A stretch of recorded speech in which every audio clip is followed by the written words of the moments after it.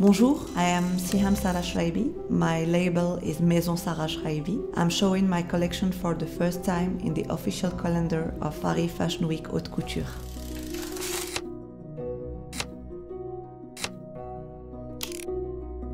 For me, couture is a passion. It's like a childhood love story.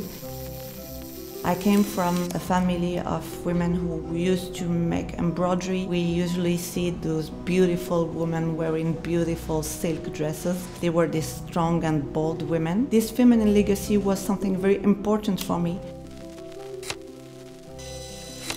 I started my first collection here in Paris. It was for me a challenge to write something about Moroccan luxury as a concept. My work is deeply rooted in a Moroccan tradition. I see it also as an authentic innovation. When I work with artisans on embroidery, for example, it's never doing it like it is in Moroccan tradition, but rethinking it as a contemporary craftsmanship. This dress is inspired by the Moroccan bride who wears a lot of pearls and I wanted to do a modern version of it, something that can be kept from a generation to another.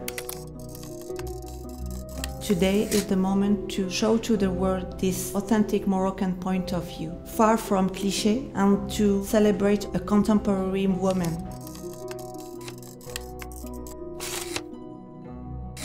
This idea of transmission between generations was something very important in my work.